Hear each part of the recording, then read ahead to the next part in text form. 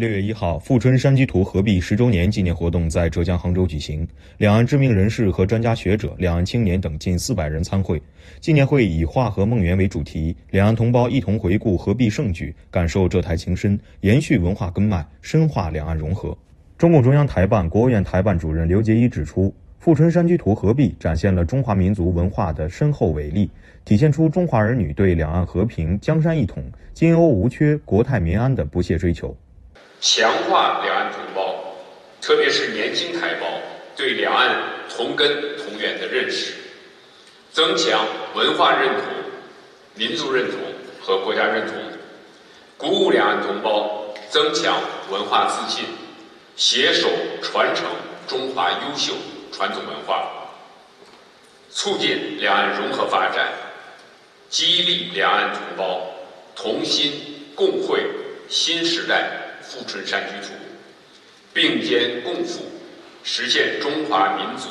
伟大复兴的新征程。富春山居图由元代画家黄公望所作，是中国十大传世名画之一。明朝末年后，这幅名画因故分为两段。一九四八年以后，分别收藏于浙江省博物馆和台北故宫博物院。二零一一年六月一日，在两岸有识之士共同推动下。分离三百六十多年的《富春山居图》《圣山图》和吴用诗卷在台北实现合璧展出，成为中国艺术史上的一段佳话，也是两岸交流中具有里程碑意义的文化盛典。中共浙江省委常委、杭州市委书记周江勇表示，浙江杭州与台湾地缘相近、文缘相通、人缘相亲、商缘相融，合璧十年来，浙台经贸、文化、青年等领域交流合作呈现良好态势。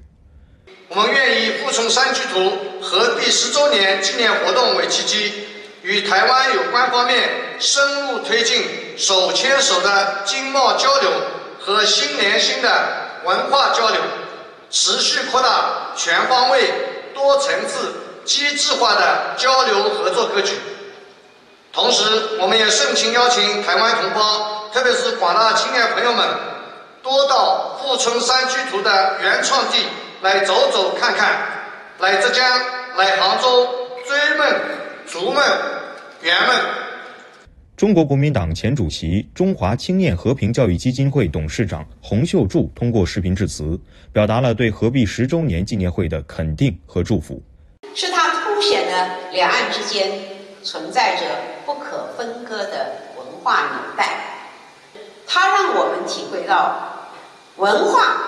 才是两岸共同的血脉，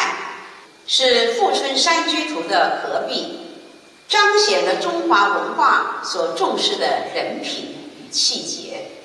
如果能够更积极的以文化交流强化这个纽带，